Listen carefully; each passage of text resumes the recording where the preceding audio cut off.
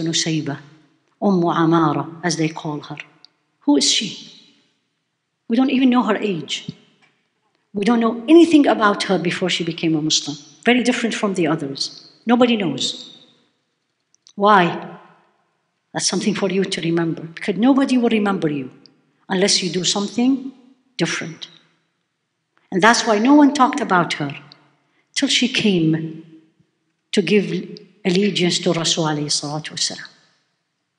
So this is about 1440, about 1430 plus years. So Rasul was still in Mecca. She was from Medina. She was Ansariya, as they call it. So she was born, raised in Medina, from Banu Najjar. But nobody knows anything about her at that point. And then Rasul sent the first ambassador in Islam. Who was that? You all should know the name. There's only one. The first ambassador in Islam, who was he? Who he was? Who Rasul sent him to Medina. No. Mu'adh ibn Jabal was sent to Yemen. I, I heard it. Yes, Sayyidina Mus'ab ibn Umayr was the first ambassador who Rasul wanted to see if he will migrate to Medina. will that be a good place? Planning, investigating, researching, searching. So he did. And Sayyidina Mus'ab ibn Umair did an amazing job. What happened afterward? You should all know this but I don't want to talk about the seerah, I want to talk about points that should impact you and me as a woman. 74 people from Medina decided to come to Mecca and meet Rasul alayhi salatu wasalam. Seven four. How many women among them? How many women? Only two. What's the ratio? It doesn't matter the number. It doesn't. What matters is what did you do? So Umm Amara and Asma, both of them. They didn't jump on Rasul alayhi salatu wasalam and I'm coming and I have to do this.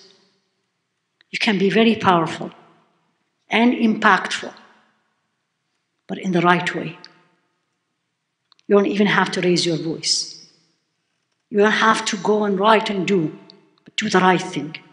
So what did they do? They wanted to give allegiance to Rasul والسلام. This is Bay'atul Aqaba, second one. She left Medina. She came with her husband and two of her sons and her sister came coming to Rasul alayhi. But they didn't go to him and says, I want to do it. She sent the husband of Asma to Rasul alayhi and he said, Ya Rasulullah, the woman wants to give you the allegiance like the man. And what did he say? You need to know this because there's a hukum here, there's a fiqh ruling we're going to learn. What did he say? What did he say? You're close, but what did he say? He said, That's fine. Let them come and give the allegiance, but I will not shake their hands. Because normally, how do you give allegiance to someone? You put your hand on top of their hand. He said, I will not. Did they get offended? Why me? Discrimination? Because I'm a woman? You know my point? Again, I'll say this every time I speak to women don't fall in that trap. Focus on the goal. They came because they want to make a statement. What was the statement? That Nusayba did on that day. That the woman faith is as strong as the man faith. And whatever it will take to show this faith, she'll do it. So she came, gave the allegiance to Rasul went back to Medina. Nobody knows much now. Till when? Till when? What do we know her? Uhud, exactly. How many years? At least five, right? At least five or six after Badr. What happened here? Women always, when they go for expeditions with the Rasul, what do they do?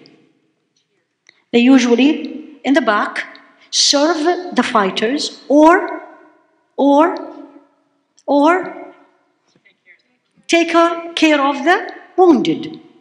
And that's what she did. Now, if you learn the rest, you will say, anybody else in this day, no, no, no. I don't want to stay in the back. No. I am as strong as them, I want to be in the front. Are you getting my point? She didn't. She was in the back. When did she come to the front? And this is a lesson for all of you. Wait till Allah use you. Don't jump to it. She didn't go out to make a statement. And so history will talk about her. And Rasul said this famous more than one statement about her. That's not her purpose. She went to serve Allah. She went to serve Allah the way usually woman serves Allah. But Allah had another plan for her. And what happened? What happened? Come on. It's Uhud. So as long as the Muslims were winning, she was in the back. Now what happened? You all know the story. Now things turned around. And what happened to the Muslim? The fighters, companions, what happened? They ran away. And this is how it's described. And if you read, you will find the same description. Very few people, they said, less than 10 companions, Sahaba, ran away. Very few, less than 10, stayed shielding Rasul Who was it? One of them was she and her son. She and her son. She didn't go for that. But when the opportunity comes in to serve Allah, to do something most don't do, she was there. And what happened? She did not go out as a fighter, so she doesn't even have a shield.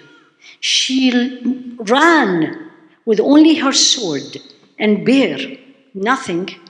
And the Rasul is behind her. The fighters were running, and the Rasul looked at one. There's no name. And he had a shield. And he said, If you are not fighting, give me the shield. He gave him the shield, and he gave the shield to Sayyida Nusayba. You know what is this? Again, when Allah wants to use you, He creates the opportunity for you. And He facilitated.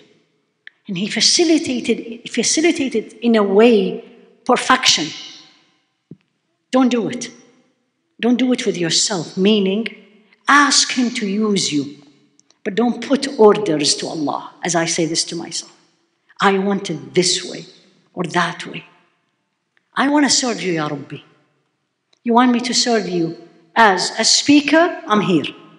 You want me to serve you as the person who cook the food, to serve the people who attend the conference? I'm there. You know what I'm saying? Don't pick and choose. This is the deen of Allah. He chooses where He wants you and where He's going to use you. And the result is the same. So her son comes in. She had two. Both of them died, but not in, uh, in Uhud. Habib and Abdullah. So Habib was running and he, he had a wound in his arm, bleeding. And the Rasul told him, tie it and come to your mom. You, you need to feel this. It was a fiasco, it was a mess. They were losing and running. He comes in. What is she doing now? Now, this is the mother. This is her son. Now, this is the fighter. Look how many hats she was wearing. Now, she's the nurse. She pulled her son. She had around her tied some bands because she was going out for nursing. She take one band, tie her son wound bleeding, and what does she say? Go back and fight. Look at me and you. Go back and fight. What did he tell her, alayhi salatu wasalam? No one can do what you, you just did, Ya Umm Amara. This is one of the statements he said about her. No one can do that. Your son and everybody is being killed in the mass, bleeding. Anybody else would say, you know, he's bleeding, go home. My baby. Not Umm Amara, not Nusayba. Allah knows you and me what would have done. And then she sees a warrior coming to kill Rasul. She has nothing. She's not a fighter. But when you have the faith, when you really love Allah, when He puts you in the place where He wants you to defend, I'm there. And then He comes in, and they were all on horses. She was not riding, they were all standing. And that man comes in, and he missed her, then turned, and then she hit the horse, and the horse fell, and the man fell, and then she killed him. نسيبه That's why he said من يطيق ما تطيق لا لا نطيق ما تطيقين يا أم عمارة We cannot do what you are doing That's a woman One Only And then at that point, she said to Rasulullah, what did she say? Pray for me and my family in the middle of the battle. Pray for me and my family that we are with you in Jannah. And of course, he prayed for her. Did you see the point? In the middle of whatever, the focus is what? Is al akhirah. Jannah, where I am going. What do I want to do? It's not this life, it's the way I look, uh, what I have, where is my child is going. The focus is al akhirah including with how I use my children. Because that's why she told her child, Go, done. I took care of it. Go back. Subhanallah. Is this is done? Do you think that the only landmark of Sayyidah Nusayba is because of her courage? Then you don't know the, uh, well the seerah. There's a verse in the Quran was revealed because of her. There's a different opinion about whether it was Umm Salama or was Nusayba, Sayyida Nusayba. What was this verse? Or what was what did she come and said? She came to Rasul wasalam says, Ya Rasulullah, everything in the Quran is for the men. Now, equality. Now I want my rights. But what rights she was looking for? She said, Ya Rasulullah, all the rewards goes to the men. The rewards goes to the men. What about us? And then Allah revealed. It's in Surah Al-Ahzab, which most of you, inshallah, you know the verse. In the Muslimina, or Muslimat, wal Mu'minina, والمؤمنات والقانتين والقانتات والصادقين والصادقات والصابرين والصابرات والخاشعين والخاشعات والمتصدقين والمتصدقات والصائمين والصائمات والحافظين فروجهم والحافظات والذاكرين الله كثيرا والذاكرات أعد الله لهم مغفرة وأجرا عظيما And this is one of the few verses where Allah divided the gender. You're a Muslim, she or he. A believer, she or he. Submitting to Allah, he or she, or she and he. He started with he and she. That's when I ask for my rights. That's where I want to be equal, if not in the front run. It's not everything. That's a Sayyida Nusayba. The other thing, her son, Abdullah, was the only Sahabi who described the wudu of Rasul What an honor. All these Sahaba, it's her son, described. Third thing for her, another hukum. So I want you to know it's not about courage only. What she has that we all need, especially this day and age, the yaqeen, the certainty, the unshakable faith, I call it. This is who she was. Unshakable faith. I am a servant to Allah wherever Ya Allah you put me. So Rasul came to visit her. What was she doing? She was fasting. He was not. Alayhi salatu wasalam. she served him food. And he said, Why you are not eating, Ya Nusayba? Umm Amara said, I'm fasting, Ya Rasulullah. What did he tell her? Anybody knows? Yes. He said to her, The angels pray for the house that the owner is fasting and he serves food to people. What a faith, practicing faith, courage. Uhud was not the only one. She was involved in one of the most unique allegiance to Rasul alayhi That's what they say. If you read about her, they tell you she is one of those who Allah said, I am pleased with her. Can you claim this? Can I claim this? How dare I am. But this one is not a claim. It's true. It's a fact. Allah subhanahu wa ta'ala said in Surah Al-Fath, لَقَدْ رَضِيَ اللَّهُ عَنِ الْمُؤْمِنِينَ إِذْ يُبَايِعُونَكَ تَحْتَ الشَّجَرَةِ فعلم ما في قلوبهم فأنزل السكينة عليهم وأثابهم فتحا قريبا Let's translate. Allah said, Allah is pleased عن المؤمنين, the believers. But who are they? Which one? Not everybody. This is specific. Those who gave you allegiance under the tree. She was there. Second, and this which allegiance is when Sayyidina Uthman went to Mecca and the news came in that he was killed.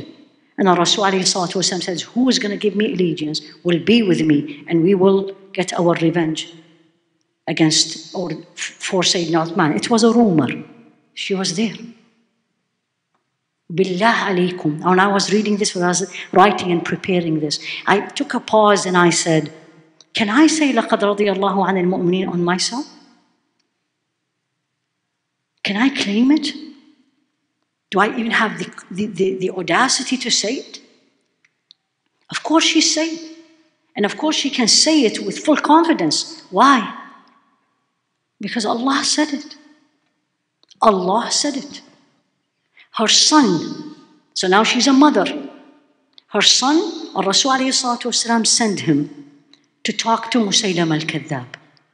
Musaylama, the one who claimed prophethood. And Musaylama stood in front of him, her son, Habib, and he said, Do you bear witness that, Rasul, that, that Muhammad is Rasulullah? He said, I do. And he said, Do you bear witness that I am a messenger? And he says, No. Every time he asks him this question, the answer is no. He chopped one part of his body a hand, an arm, every part till he died.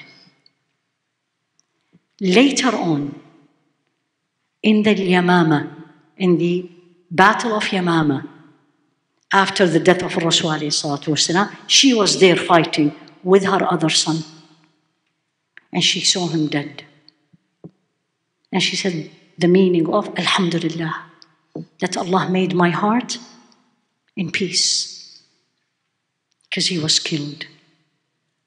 Sayyidina Abu Bakr and Sayyidina Umar, the giants, men, they used to go and visit her specifically. You want your right? You want to be identified? You want to be special? It's not words, it's action. It's action. And it's a hard one. And somebody, most people don't do it, but you will do it, not to impress anyone other than Allah. Not looking for any praise other than His praise. Not wanting anything of this dunya other than the pleasure of Allah subhanahu wa ta'ala. She died 13 year of Hijrah. They said that she died at the time of Sayyidina Umar. No one talk about how she looks like. This is what I want to end. No one said about her skin color, or how long her hair, or what was her weight, or how tall, or what did she dress, or where she bought. But everyone talks about her courage, sacrifice, faith, certainty how much we have of this. سبحانك اللهم وبحمدك أشهد أن لا إله إلا أنت أستغفرك وأتوب إليك. صلى الله على سيدنا محمد وعلى آله وأصحابه تسليما كثيرا. جزاكم الله خيرا.